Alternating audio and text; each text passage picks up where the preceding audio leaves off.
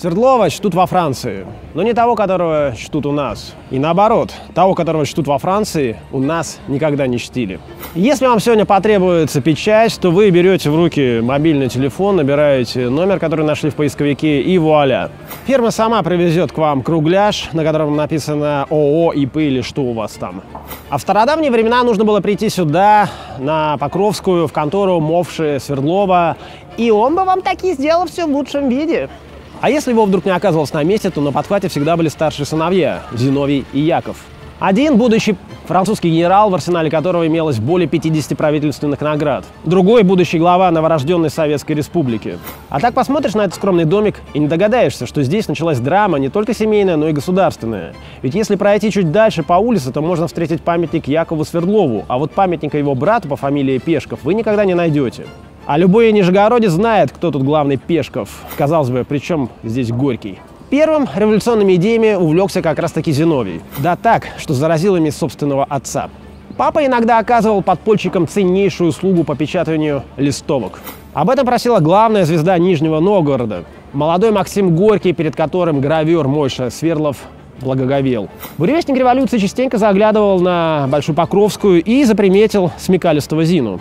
Ну а тот, конечно же, попал под обаяние молодого писателя. И даже последовал за ним в ссылку в Арзамас, где стал свидетелем импровизированного кастинга. Горький знакомил Немировича Даченко с пьесой «На дне». Роль Васьки Пепла читал Зиновий. И режиссер вдруг увидел перед собой подающего надежды актера, предложив тому отправиться в Первопрестольную. Свердлов последовал совету, но была одна проблема. Для лиц иудейского вероисповедания в Москве был установлен жесткий лимит на проживание. Что делать? И тогда Максим Горький советует юному другу это самое вероисповедание сменить. Зиновий Свердлов принимает православие, а вместе с ним фамилию его крестного отца Алексея Максимовича Пешкова. В ряде книг и документальных фильмов говорится о том, что отец, узнав об этом, проклял сына. Только как он мог его проклясть, если сам перед этим стал православным, конвертировавшись из Мойши в Михаила? А вот Яков веру не менял. И если посмотреть на фото 1904 года, Лапочка ботаник. Однако этот милейший мальчик организовывает на Урале забастовочное движение, учится боевому делу у дружинников, создает и возглавляет Екатеринбургский совет народных депутатов. Человек железной волей, выдающимися, по современному говоря, менеджерскими способностями.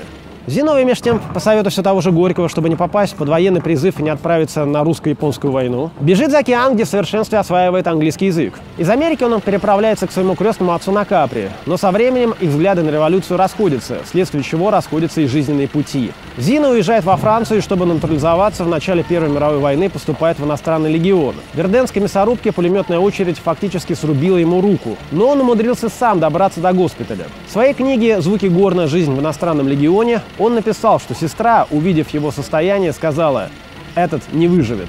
На что Пешков, теперь его фамилия произносилась по-французски с ударением на последний слог, сказал «А может, стоит попробовать?» и согласился на ампутацию. Вот какая может быть жизнь у однорукого мужчины? Если захотеть, то насыщенная. Зиновий Пешков вернулся в армию и стал военным переводчиком. Уехав в США, вот тут и пригодился английский язык. Еще больше пригодился русский. После февральской революции его отправили вместе с Дипнисией в Россию. Здесь он был свидетелем Октябрьской революции, одним из предводителей которой стал его родной брат Яша. Но Зина большевистскую власть не принял и общаться с братом отказался на отрез. Нижегородец Яков Свердлов стал проклятием царской семьи и героем советских людей. Кинематограф, филателия, топография, монументальная скульптура – везде можно найти его след. Крупнейший промышленный город был назван его именем. Он умер от испанки. Так называлась эпидемия гриппа, скосившая миллионы людей во всем мире. Неизвестно, как складывались бы в будущем его отношения с Иосифом Сталиным, с которым он одно время коротал ссылку. Яшин, младший брат, Венечка, был расстрелян в 1938 году как троцкист. Так что Свердлов умер рано и, скажем честно, вовремя. Отсюда тотальная героизация. А вот Зиновий Пешков служил главой дипмиссии в Китае и Японии. Помимо английского и арабского, он овладел еще китайским и японским. Несмотря на свое увечье, он был мечтой женщин, и если посмотреть на одно из его фото, то на вас глядит без пяти минут Фредди Меркури. Во время Второй мировой войны он был правой рукой Шарля де Голля. Дожил до 1966 года, умерев в славе и почете как герой Французской Республики. Вот так одна страна, один город, одна семья, один адрес. А какие разные векторы судеб. Воистину богатая земля Нижегородская сюжетами для кинофильмов и сериалов. Приезжайте и убедитесь в этом сами.